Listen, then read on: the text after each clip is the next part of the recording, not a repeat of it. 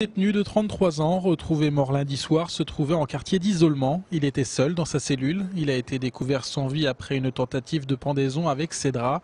Une information judiciaire pour recherche des causes de la mort a été ouverte, mais il s'agirait donc d'un suicide. Le procureur de la République s'est rendu sur place dès mardi. J'ai trouvé des personnels effondrés qui étaient euh, surpris de ce qui était arrivé, car euh, euh, ce détenu qui posait certes des problèmes de violence, il était absolument euh, imprévisible qu'il pût retourner cette violence contre lui.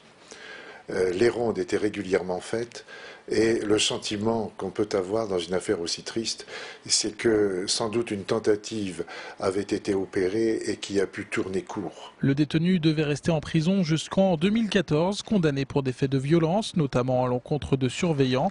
La centrale de Clairvaux n'est que très rarement concernée par des cas de suicide. Il s'agirait même du premier depuis au moins six ans. Comme tous les établissements qui abritent des prisonniers condamnés à des longues peines, des rondes sont effectuées environ toutes les heures et contrairement aux maisons d'arrêt, l'établissement n'est pas confronté au problème de surpopulation carcérale. La maison centrale de Clairvaux n'est pas euh, une maison centrale surpeuplée il y a exactement le nombre de places et le nombre de détenus euh, qui est prévu.